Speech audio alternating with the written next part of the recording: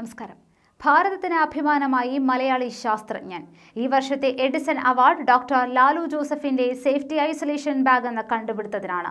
ലോകത്തിലെ ഏറ്റവും നല്ല കണ്ടുപിടുത്തങ്ങൾക്ക് ആയിരത്തി തൊള്ളായിരത്തി എൺപത്തി ഏഴ് മുതൽ പ്രസിദ്ധനായ തോമസ് ആൽവ എഡിസന്റെ പേരിൽ ഏറ്റവും നല്ല കണ്ടുപിടുത്തങ്ങളെയും ശാസ്ത്രജ്ഞരെയും ആദരിക്കുന്നതിനും ബഹുമാനിക്കുന്നതിനും വേണ്ടി നൽകപ്പെടുന്ന അന്താരാഷ്ട്ര ബഹുമതിയാണ് എഡിസൺ അവാർഡ്.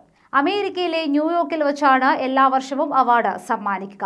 കീഹോൾ മോർസിലേഷൻ സർജറിയിൽ കോശങ്ങളും മറ്റ് ക്യാൻസർ ഉണ്ടാക്കുന്ന സെല്ലുകളും പടരാതിരിക്കുവാനും അതുവഴി ക്യാൻസർ ഉണ്ടെങ്കിൽ അതിന്റെ പകർച്ച തടയുവാനും മാത്രമല്ല ഇത്തരം സർജറികൾ ചെയ്യുക വഴി വളരെ കൂടുതലായി തുടർന്നുണ്ടാകുന്ന സെക്കൻഡറി ഫൈബ്രോയിഡിനെയും പാരസെറ്റിക് ഫൈബ്രോയിഡ് ഗ്രോത്തിനെയും തടയുവാൻ വേണ്ടി വികസിപ്പിച്ചെടുത്തതാണ് സേഫ്റ്റി ഐസൊലേഷൻ ബാഗ്സ്.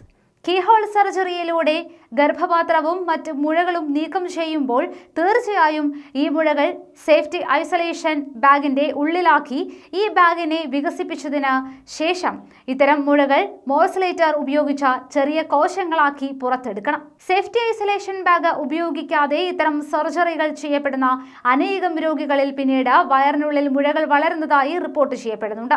ഇത്തരം മുഴകളെയാണ് സെക്കൻഡറി ഫൈബ്രോയിഡ് എന്ന് വിളിക്കുന്നത്. പല രോഗികളും ഇതിനെക്കുറിച്ച് ബോധവാന്മാരല്ല എന്നതാണ് വാസ്തവം. എങ്കിലും നമ്മുടെ രാജ്യത്തും ലോകത്തിലെ പല ഭാഗങ്ങളിലുമുള്ള പ്രഗത്ഭരായ ധാരാളം ഡോക്ടർമാർ ഇത്തരം സർജറികളിൽ സേഫ്റ്റി ഐസൊലേഷൻ ബാഗ്സ ഉപയോഗിക്കുന്നുണ്ട്.